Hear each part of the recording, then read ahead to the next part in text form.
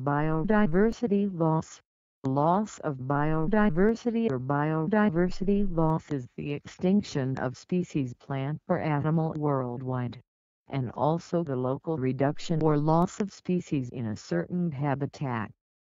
The latter phenomenon can be temporary or permanent, depending on whether the environmental degradation that leads to the loss is reversible through ecological restoration slash ecological resilience or effectively permanent e.g. through land loss. Global extinction has so far been proven to be irreversible.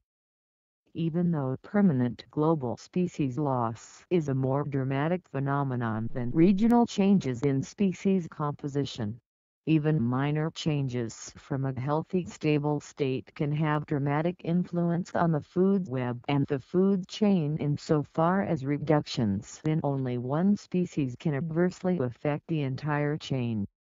Co-extinction leading to an overall reduction in biodiversity possible alternative stable states of an ecosystem notwithstanding ecological effects of biodiversity are usually counteracted by its loss. Reduced biodiversity in particular leads to reduced ecosystem services and eventually poses an immediate danger for food security, also for humankind.